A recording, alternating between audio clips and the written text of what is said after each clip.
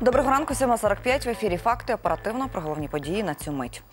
Ситуація в зоні АТО лишається напруженою. Два десятки обстрілів та двоє поранених наших військових. Традиційно найгарячіше на фронті уночі.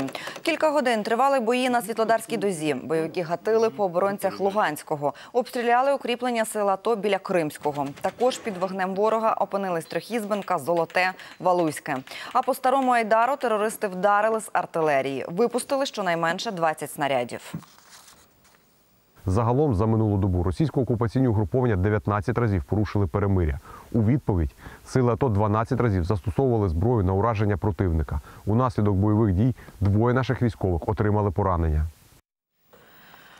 Стало відомо, на що саме мають піти 350 мільйонів доларів, які Сполучені Штати хочуть виділити Україні на військову підтримку наступного року. Насамперед, наша держава може отримати засоби протиповітряної оборони та протимінні засоби. Про це заявив посол України в США Валерій Чалий.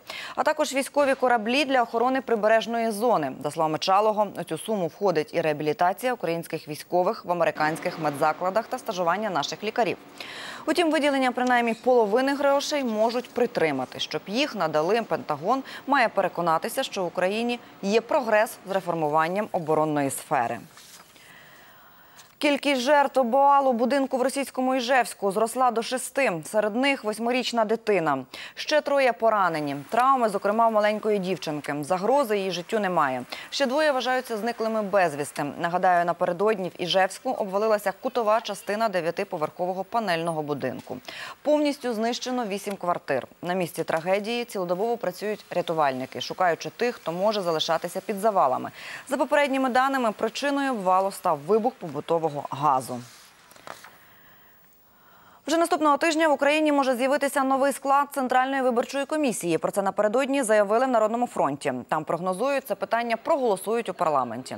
Я нагадаю, більшість членів нинішнього центру виборчкому свої повноваження втратили ще три роки тому. Таких з 15-13. На початку вересня президент України Петро Порошенко закликав народних депутатів протягом найближчих тижнів подати йому пропозиції щодо кандидатур на посади членів ЦВК. Полювання на лося скоро заборонять. Тварину внесли в Червону книгу України. Попри мисливське лобі, за відповідне рішення Національна комісія з питань Червоної книги України проголосувала в таємному форматі. Про це повідомив координатор руху за права тварин Олександр Тодорчук на сторінці Фейсбук. Тепер Міністерство екології остаточно внесе лося до Червоної книги і захистить від винищення. За словами активіста, міністр екології готовий до цього кроку.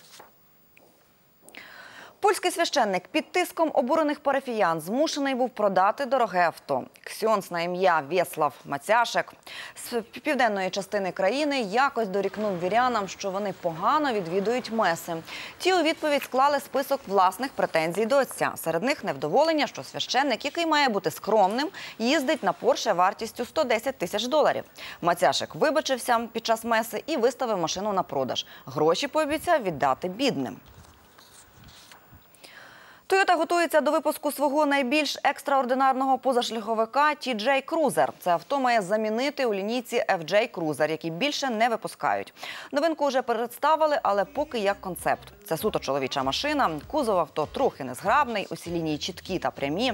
TJ збудують на новій платформі, що значно додає простору в салоні. Всі крісла, окрім водійського, складають складати тут можна перевозити багаж до трьох метрів завдовжки. Поки планують випустити лише дволітрові машини, але в майбутньому будуть і гібриди. Окрім повнопривідних, будуть і передньоприводні варіанти. Коли FJ Cruiser піде в серійне виробництво, поки невідомо. Та ціну для Америки вже назвали близько 25 тисяч доларів. Мальовничим феєрверком завершилося напередодні в Абу-Дабі заходи з нагоди відкриття філії знаменитого французького лувру. Гостей церемонії гостем церемонії був французький президент Еммануель Макрон. Музей створили понад 10, створювали понад 10 років. Проект коштував приблизно мільярд 300 мільйонів доларів. Комплекс розташований на острові Саадіят. У 23 галереях виставлять 600 експонатів, що належать Лувру Абу-Дабі. Та що за та ще за три сотні шедеврів, орендованих в 13 французьких музеїв. Публіку до залів Лувру або Дубі почнуть пускати піс- від завтра. За мить факти спорт, легкої вам п'ятниці і до зустрічі.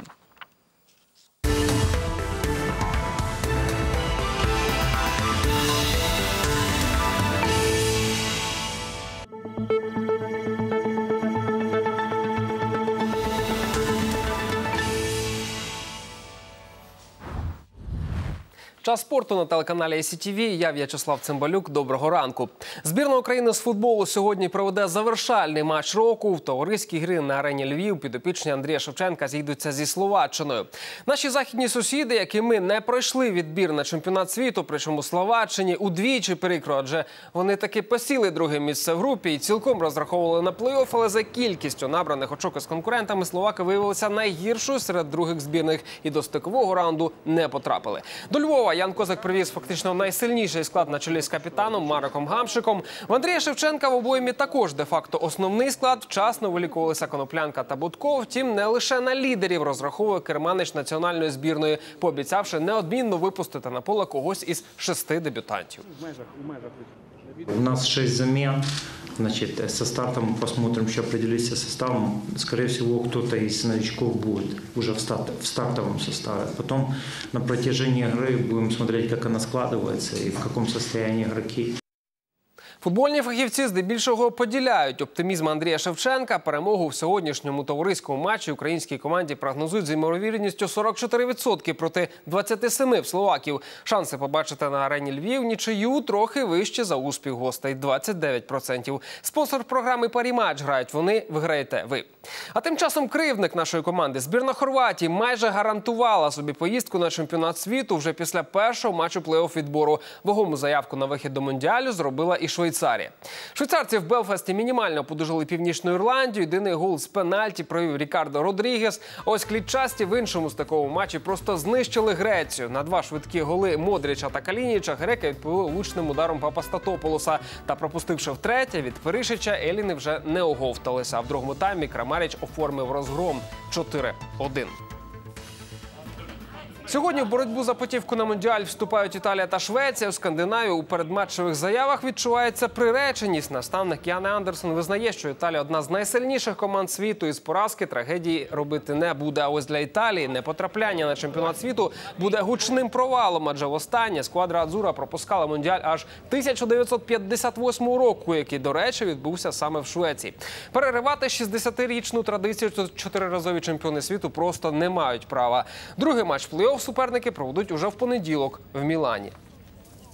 Чому Україна відмовилася від ядерної зброї та чи може тепер повернути цей статус? Розбиралися журналісти програми Ранок у Луковмісті. Не перемикайте.